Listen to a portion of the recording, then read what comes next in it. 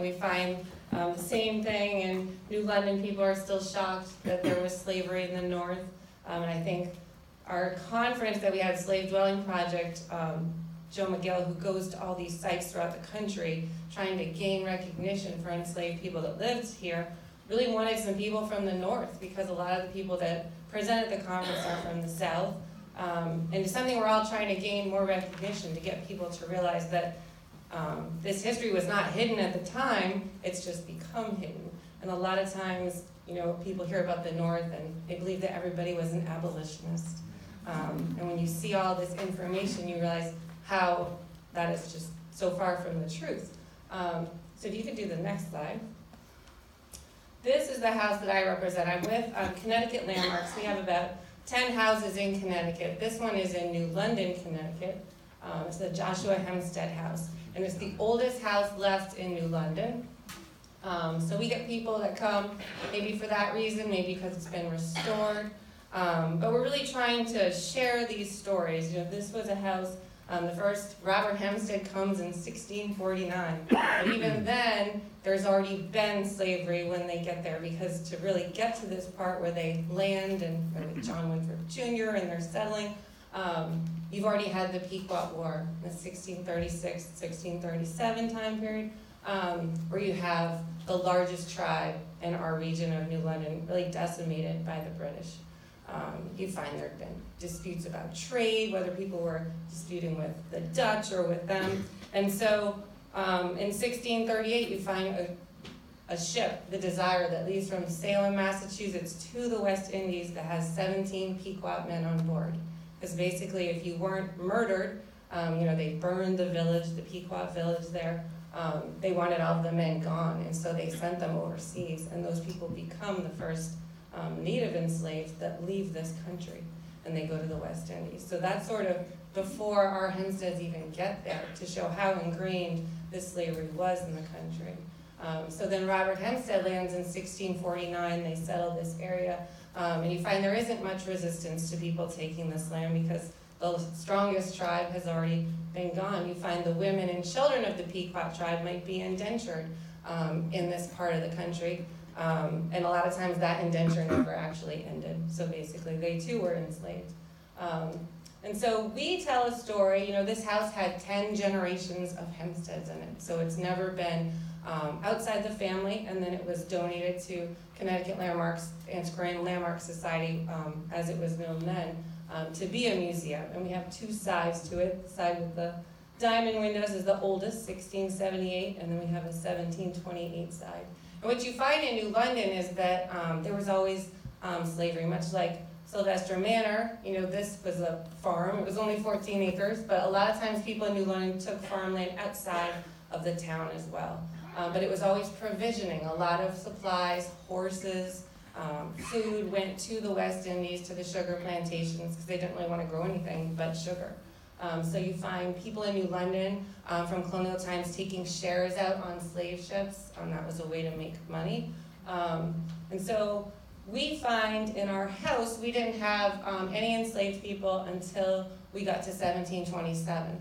Um, but if you go to the next slide, another reason our house was quite preserved and people were interested in it was this diary. Joshua Hempsted is the third generation born of the Hempsted family. We believe he's born in 1678 when that house is first built.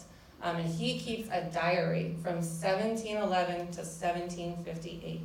Um, and these are just a few of the pages of the diary. It is very long. Um, you know, for him, it's really a work document. We always ask kids that come, oh, what do you think he wrote in his diary? And they're like, secrets, and, they have all these ideas, his feelings. Um, it's really a work document. Every day starts with the weather um, and then what the work was.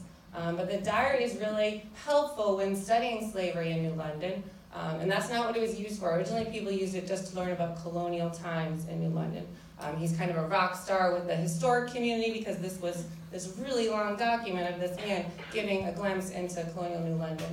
Um, and people didn't really understand all the names listed in the diary. You know, it's a long project. The New London County Historical Society has actually transcribed it and working on a new edition um, and they hold the diary for us. We are not a climate controlled site.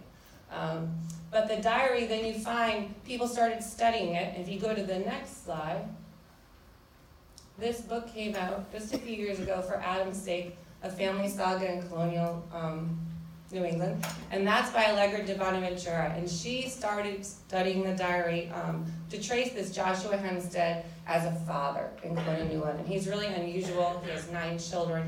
His wife dies after the birth of the last daughter. Um, all his oldest children are boys. So he has six boys and then these three girls. And when his wife dies, he doesn't know what to do because he doesn't have anyone to really take care of the children. So he actually sends um, three children over to Long Island, which is where his wife is from, um, to Southold. Um, in studying the diary and learning about him as a father, she saw these names that kept appearing. And one name in particular that comes in 1727 is Adam Jackson. Um, and he is purchased as an enslaved person. Joshua Hempsted was a shipbuilder. That's originally how he was apprenticed. He is a farmer. He carves gravestones. He makes coffins, he keeps his diary, and then he becomes a probate court judge and justice of the peace. Um, so he's able to rise more than the Hempsteds would have been able to back in England. Um, but that means he doesn't have as much time for his farm work. After his wife dies, he does not bring um, any enslaved labor into the house at that time. He does hire out women from town. Um, but in 1727, he's doing a probate inventory for the Fox family, um, and he stumbles across Adam Jackson, who he probably knew, who was an enslaved farmer. At that time, the man is 27 years old, and Joshua purchases him at that point. And he writes about it in his diary. You know, people always want to know, what did he say about that? You know, this big moment in his life. And basically, he wrote, um, Today I purchased Adam Jackson for 85 pounds. He put down five pounds, and the rest he's buying on interest because he's expensive. And at this point, you know, most of his sons have moved on. Um, the oldest one is the one that will get everything that he has his land, his family. Um, so then we find that addition to the house comes in 1728 because it's releasing Joshua and his son Nathaniel from doing a lot of the farm work. Um, but what's interesting about this family is, um, you know, for Adam's sake, he's one of the best documented colonial enslaved men. But at the same time, what we have about him is what he did for work every single day you know, because he's sledding wood, he does a lot of work for neighbors, so Joshua also makes money from the labor that Adam does for others. We find other people that he's working with in New London, and a common refrain you hear up in the north is that slavery was better here. Um, people kept families together, and much like you showed your 1790 census, we show that at our house that's the first census that's done. Um, obviously, Adam's way before that. But what you see is in New London homes, even middle class families, they usually have between one and three enslaved people in the house, and that's it. So the enslaved people are really scattered throughout the town. They're not kept together with their families. If you look at Adam Jackson, um, in 1727, he comes to this house, but before that, he's always been at the Fox family with his mother, um, and his sister, but his mother gets to be a free woman. She's married to John Jackson, um, who is a free um, man who comes from the West Indies. His owner had released him. So Joan gets this chance to be sleep free, but she has to leave those two children behind in slavery. So Adam's about three, and his sister Mary is a baby. And so she moves off site. We think she still sees them. They think sometimes she did nurse Miriam, but those children now don't have their mother with them. Their father's a free man. They live over with this Rogers family near the Mamacoke area, which is by the shore of New London. Um, so you find families were separated. It was really common. Um, and so when Adam comes to our house, we think that's the first time he's taken away from his sister, who eventually has sold herself to Norwich. And you find this family, which is what the book really covers, is that um, his mother becomes free, but there's a fight between two different white families about her. And she gets put back into slavery. Because basically she's seen as property and they think the person that inherited her was the wrong person, so she should never have been freed. Um, so it's a really dramatic story, and like you're saying with the court documents, we have court documents that um, John Jackson signed because when they put her back into slavery, he and his former owner sail across Long Island Sound. She was brought to Long Island, and then they take her and they hide her in Rhode Island.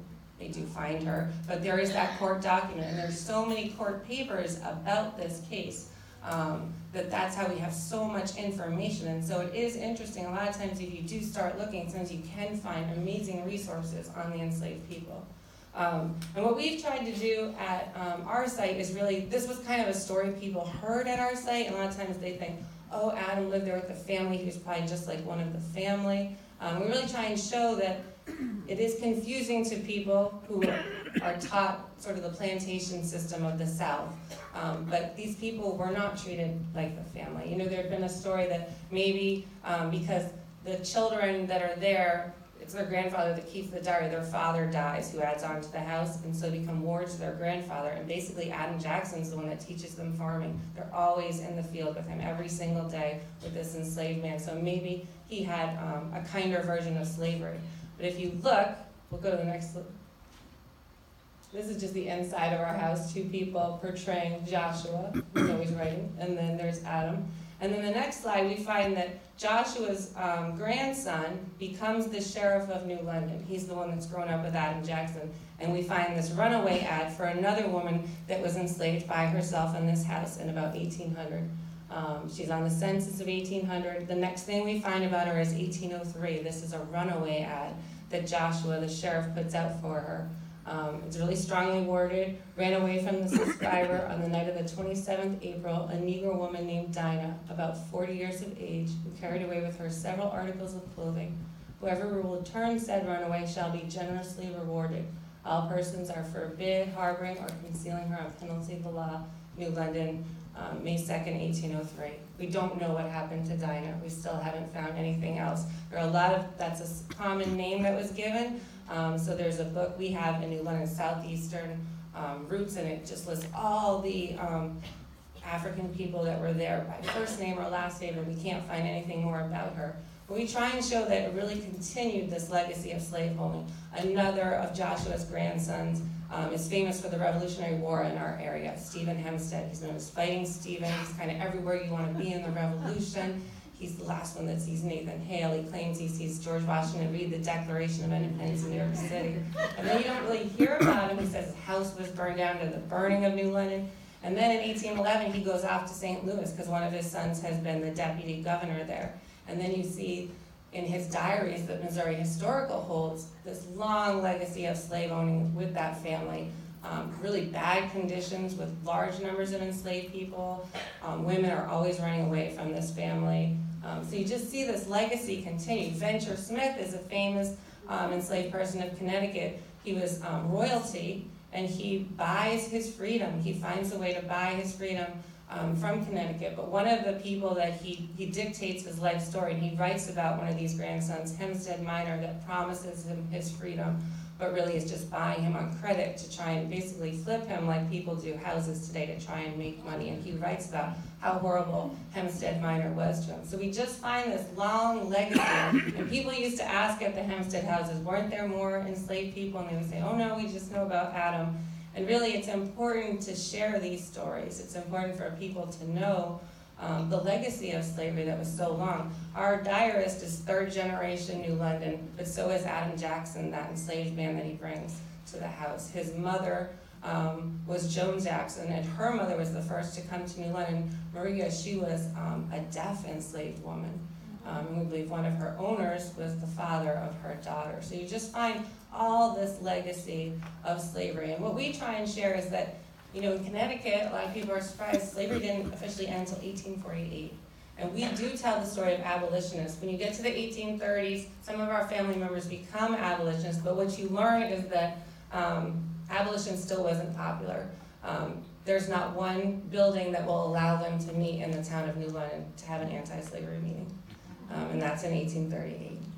So it just shows that really these legacies go on for so long, um, and so we're just trying to educate people, much like you all, and we're trying to find connections so that people really do learn more about slavery in the North, because it was a different system, but it wasn't a better system. And I think I've got it.